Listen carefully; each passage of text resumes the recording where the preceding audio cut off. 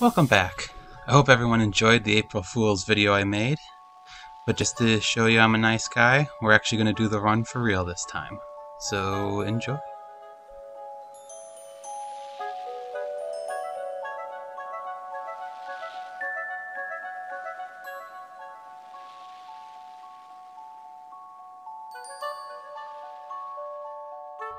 Now in this mission, the recording devices are all in the same location each and every time. So let's quickly run and grab those, and we'll be off to Tokyo. Now that we have those, we're off to Tokyo.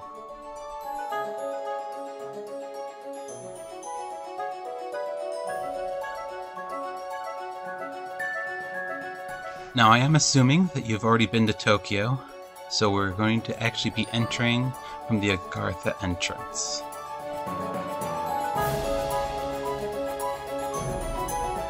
Now I have sped up this video a fair bit, and it's mainly to eliminate load screens and downtime running from mission to mission. But everything else will be in regular time.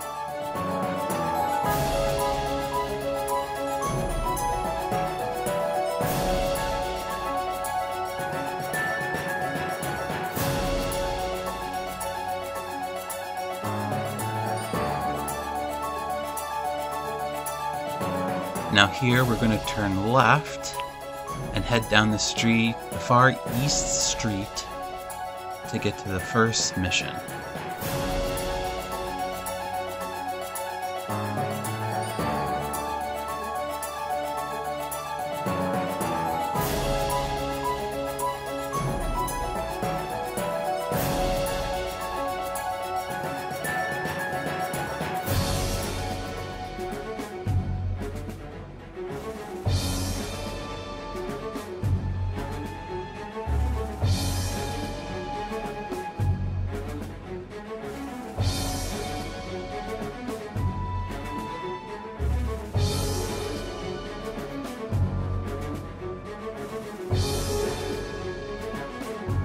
First mission here is optional. You don't necessarily have to do it, but it will net you four sequins and a tank canister upon completion.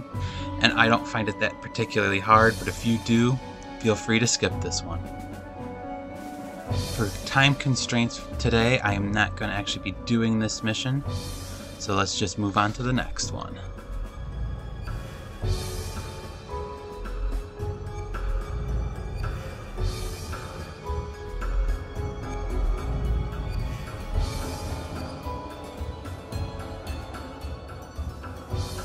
Here we'll be picking up two side missions. Each one will net you a canister and one sequin. Now all canisters in the issue 10 zone do have the possibility of dropping shipping container keys, but that's something for a later date.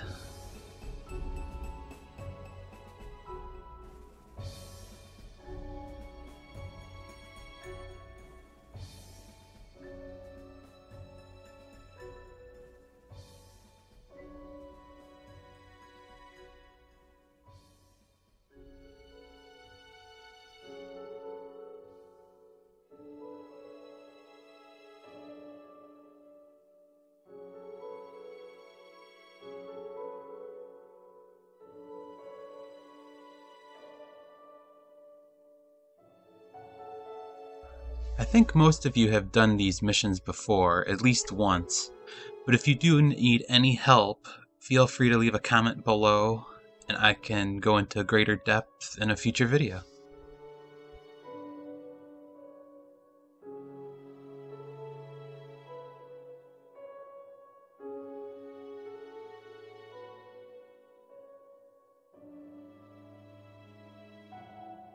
Let's grab these three medical kits and get out of here.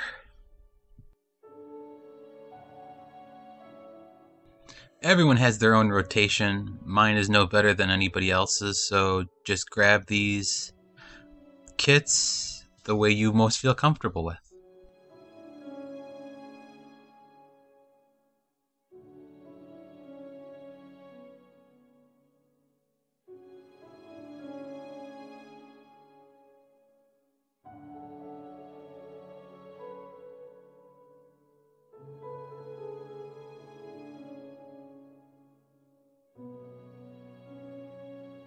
Now that we have those, we're going to head to the tea house.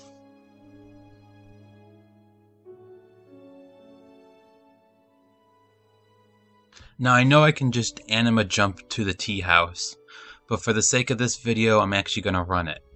I'm also going to be taking you by a few rare monsters that you can possibly pick up, which you will miss if you just anima jump.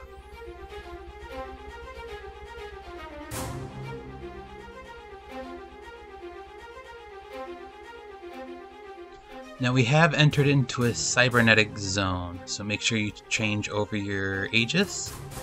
And be careful, because beasts like that one that we just passed have a chaotic pull and they can pull you right off the ledge.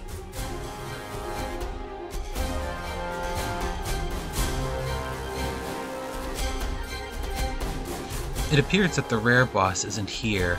He's normally a large rock golem. All rare bosses have two Aegis shields, so always be cognizant of that.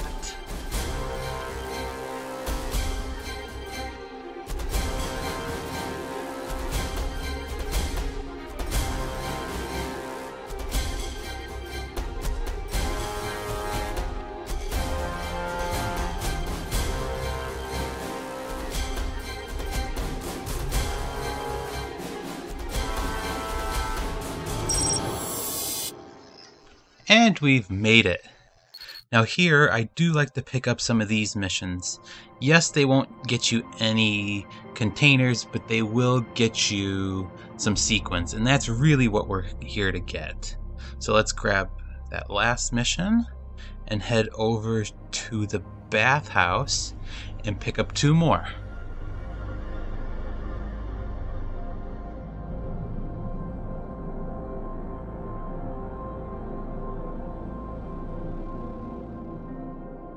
Now that we're here, we're going to pick up two more missions. The one to kill Fun, that one, and then the other one for the Robot Ninja, which we will be going back to later. So let's go deal with Fun first and move on.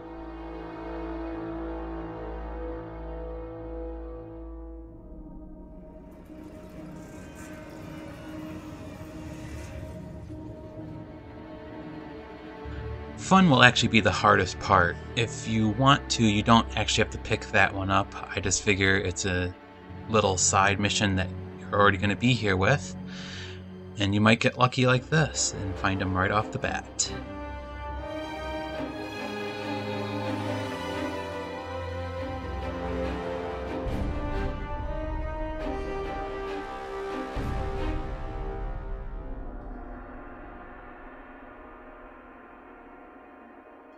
Now that fun is out of the way, we just need to find five weapon caches, which is relatively easy, and then we can leave this area.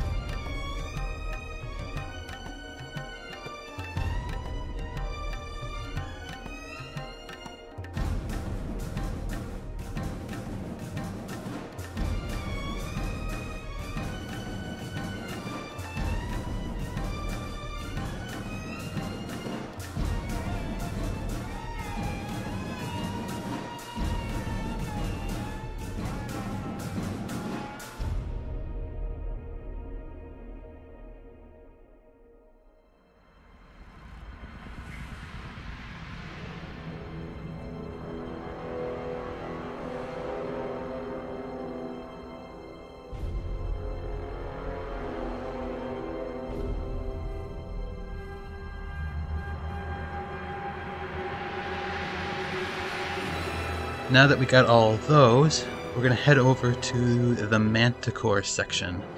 It's the cybernetic area right behind the tea house, where we are going to find a rare boss and the robot ninja. So let's head over there now.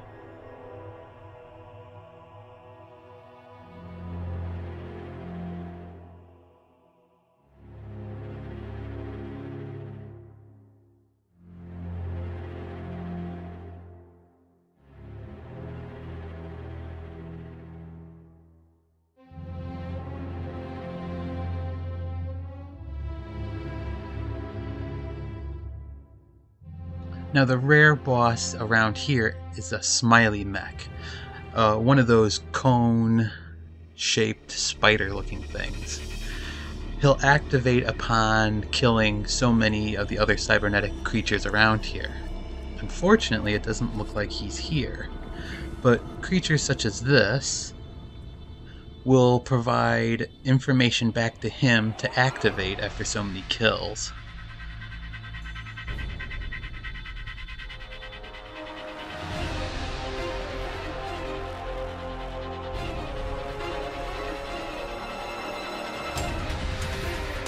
After so many kills, the smiley mech will start generating the little Orochi drones around him.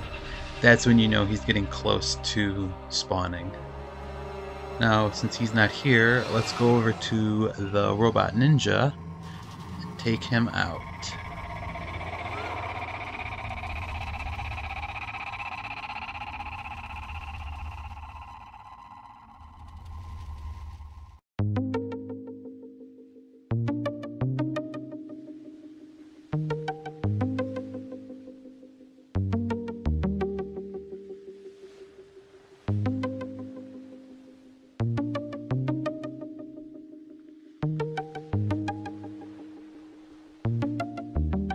With him out of the way, we're now going to head back into issue 10 territory over by the docks and hopefully find another rare boss.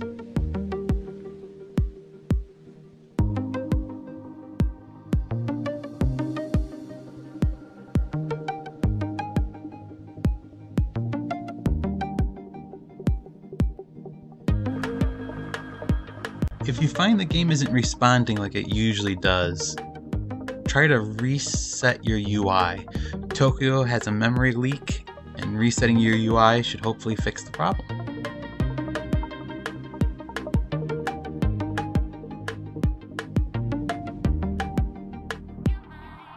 This zone is populated by demonic fungus creatures, which are actually quite potent and powerful, so be careful.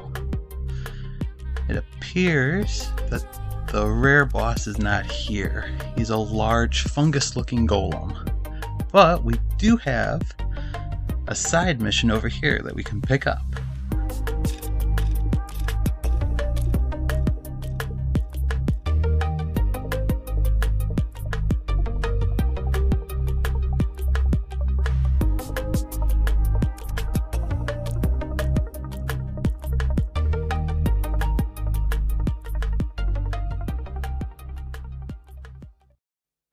This mission will take you into a nightmare area of Tokyo.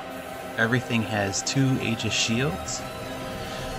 Always make sure that you bring an afflict and a weaken, otherwise these creatures will regenerate their health instantly.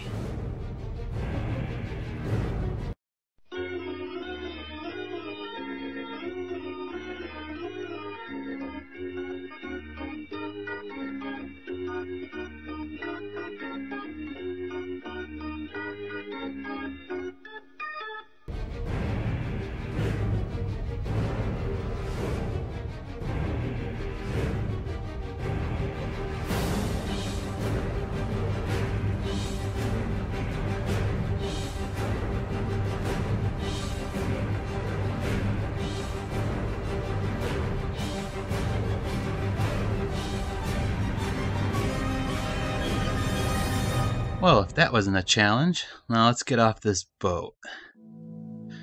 This area is actually pretty challenging, and I would almost recommend not doing this mission in retrospect after doing it myself. It's rather hard. This will be a good stopping point for part 2, and we'll pick it up in part 3.